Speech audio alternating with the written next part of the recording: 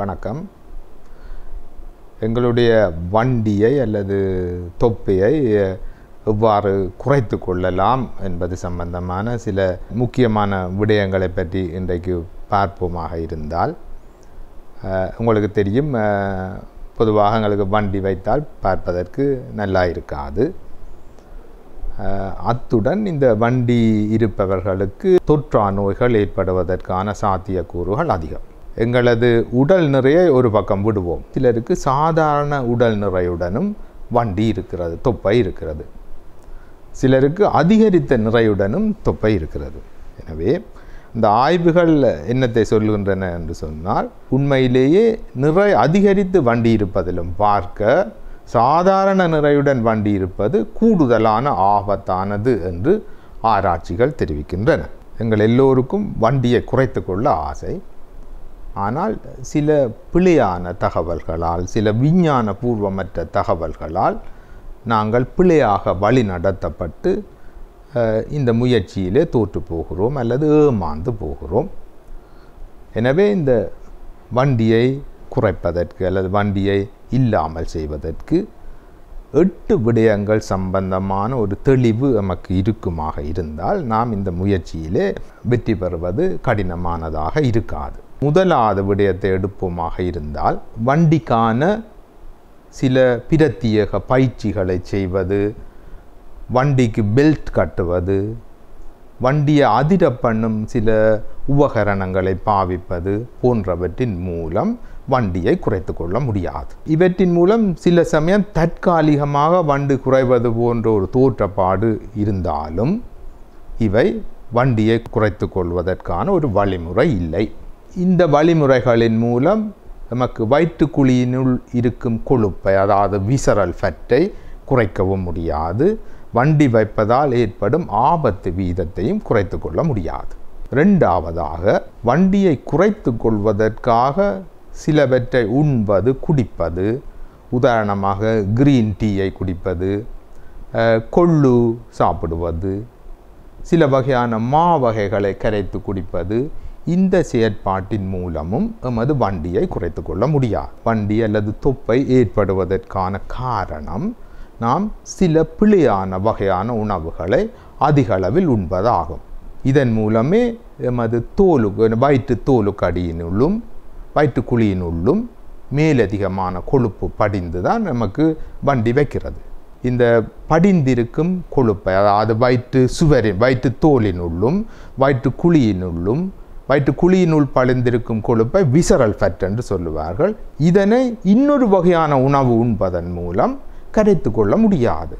இந்த கொழுப்பு ஒரு கரையும் பொருளும் அல்ல. கரைந்த கொ- கொழுப்பை இதன் மூலம் வெளியேற்றுவது என்பதும் ஒரு கேள்வி. சில பிழையான தகவல்களின் மூலமும் பிழையான வழி நடத்தல்களின் மூலமும் நாம் அனாவசியமாக பெருந்தொகையான பணத்தையும் சிலவிட்டு ஏமாந்து போகிறோம்.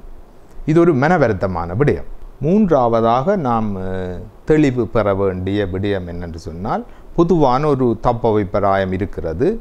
கொழுப்பு உணவுகளை உண்பதன் மூலம்தான் நமக்கு வண்டி வைக்கிறது என்று சொல்லி அது தவறானது. எமது வண்டி வைப்பதற்கு பிரதானமான காரணமாக இருப்பது மேலதிகமாக மாப்பொருள் உண்பதே.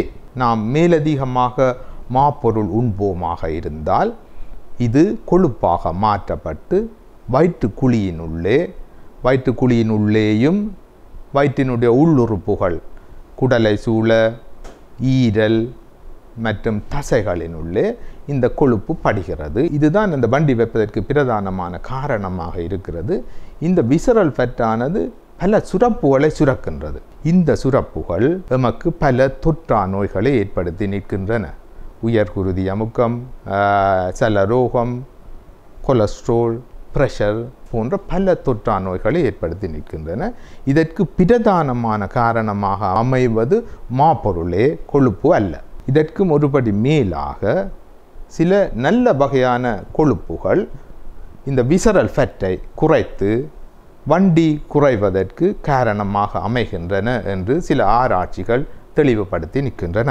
நாலாவதாக வண்டி குறைப்பது சம்பந்தமாக நாம் தெளிவு பெற வேண்டிய விடயம் என்னவென்று சொன்னால் உணவிலே எமது உடல் இன்சுலினை அதிகப்படுத்துகின்ற உணவு வகைகளை தவிர்த்துவிட வேண்டும். உடலிலே இன்சுலினின் அளவு அதிகமாக இருந்தால் அது குளுக்கோஸை வேகமாக கொழுப்பாக மாற்றுகிறது. இதன் மூலம் அந்த விசரல் ஃபேட் வயிற்றுக்குழியினுள் படியும் கொழுப்பின் அளவு வேகமாக அதிகரிக்கிறது. எனவே எந்த வகையான உணவுகள் எமது உடலில் உள்ள இன்சுலினின் அளவை அதிகப்படுத்துகின்றன என்று பார்ப்போமாக இருந்தால் விசேடமாக சீனி சர்க்கரை போன்ற இனிப்பு வகைகள் நமது உடலினுடைய இன்சுலினின் அளவை வேகமாக அதிகரிக்க செய்கின்றன. இவ்வளவு வேகமாக அதிகரிக்குமாக இருந்தால் நமது குருதியில் உள்ள குளுக்கோஸ் வேகமாக கொழுப்பாக மாற்றப்பட்டு விசரல் ஃபெட்டாக மாற்றப்பட்டு வயிற்றினுள் படுகின்றன. இது வண்டி வைப்பதற்கு ஒரு முக்கியமான காரணமாக அமைகிறது. எனவே வண்டியை குறைக்க விரும்புவோர் சீனி சர்க்கரை போன்ற இனிப்பு சேர்த்த உணவு வகைகளை அல்லது சீனி சேர்த்த தேநீர் வகைகளை அல்லது சீனி சேர்த்த பான வகைகளை முற்றாக தவிர்த்துவிட வேண்டும். அத்துடன் சீனியிலே ஐம்பது வீதம் குளுக்கோஸும் ஐம்பது வீதம் ஃப்ரக்டோஸ் என்று சொல்லப்படுகின்ற ஒரு வெள்ளமும் இருக்கிறது. அரைக்கரவாசி குளுக்கோஸும் ஃப்ரக்டோஸும் இருக்கிறது. இந்த ஃப்ரக்டோஸ் உடலினுள் செல்லும் பொழுது அதனை எமது ஈரலினால் மட்டுமே கையாள முடியும். இந்த கூடுதலான ஃப்ரக்டோஸ் ஈரலை அடையும் பொழுது அதற்கு வேறு மார்க்கம் இல்லை. எனவே இந்த ஃப்ரக்டோஸை கொழுப்பாக மாற்றுகிறது. இவை வயிற்றுக்குழியினுள்ளே விசரல் ஃபட்டாக மாறி எமது வண்டி வைப்பதற்கு ஒரு பிரதானமான காரணமாக அமைகின்றது இதே காரணங்களால் சீனி சேர்க்கப்பட்ட பல ரசங்களை அருந்துவதும் இந்த வண்டி வைப்பதற்கு ஒரு பிரதானமான காரணமாக அமைந்து விடுகிறது. ஐந்தாவதாக நாம் வண்டியை குறைப்பதற்கு தெரிந்திருக்க வேண்டிய விடயமானது கொஞ்சம் கடுமையான உடற்பயிற்சி செய்ய வேண்டும். உதாரணமாக வேகமாக ஓடுதல் வேகமாக சைக்கிள் ஓடுதல் போன்ற சற்று கடுமையான உடற்பயிற்சியை செய்வது விசரல் ஃபெட்டை குறைப்பதற்கு பெரிதும் உதவியாக இருக்கின்றது என்று சொல்லி ஆய்வுகள் தெளிவுபடுத்தி நிற்கின்றன. கடுமையாக உடற்பயிற்சி செய்யும் பொழுது நாம் களைத்து விட்டால் அந்த உடற்பயிற்சி வீதத்தை குறைத்து பின் களைப்பு நீங்கிய பின் மீண்டும் கடுமையான உடற்பயிற்சியை செய்ய முடியும். உதாரணமாக நாம் வேகமாக ஓடும் பொழுது களைப்படைந்து விட்டால் வேகத்தை குறைத்து நடந்து களைப்பாறிய பின் திரும்ப வேகமாக ஓடி பிறகு களைப்படைந்த பின் வேகத்தை குறைத்து நடந்து திரும்ப வேகமாக ஓடி இதனை சொல்லுவார்கள் இன்டர்மிட்டன்ட் ஹை இன்டென்சிட்டி எக்ஸசைஸ் என்று சொல்லி ஆய்வுகள் இந்த இன்டர்மிட்டன்ட் ஹை இன்டென்சிட்டி எக்ஸசைஸ் இந்த அப்டோமினல் ஒபேசிட்டி என்று சொல்லப்படுகின்ற இந்த தொப்பையை குறைப்பதற்கு பெரிதும் உதவியாக இருக்கின்றது என்பதை உறுதி செய்து நிற்கின்றன. கடுமையான உடற்பயிற்சி என்று சொல்லும் பொழுது நாங்கள் நீந்துதல் வேகமாக சைக்கிள் ஓடுதல் என்பனவும் ஒரு கடுமையான கடுமையான எக்ஸசைஸ் என நாம் கருத முடியும். இதனை விடுத்து வயிற்றுக்கு மட்டும் எக்ஸசைஸை செய்வதன் மூலம் வயிற்றுக்கு மட்டும் உடற்பயிற்சியை செய்வதன் மூலம் நாம் இந்த விசரல் ஃபட்டை குறைத்துவிட முடியாது. ஆறாவதாக நான் மீண்டும் ஒரு விடயத்தை வலியுறுத்தி சொல்ல விரும்புகிறேன். நமது உணவிலே மாப்பொருள் அதிகமாக சேர்த்து கொள்வதை தவிர்த்து கொள்ள வேண்டும். மாப்பொருள் உள்ள உணவு வகைகள் எவை என்று பார்ப்போமாக இருந்தால் அவை இடியப்பம் புட்டு சோறு பான் போன்றவற்றை குறிப்பிடலாம்.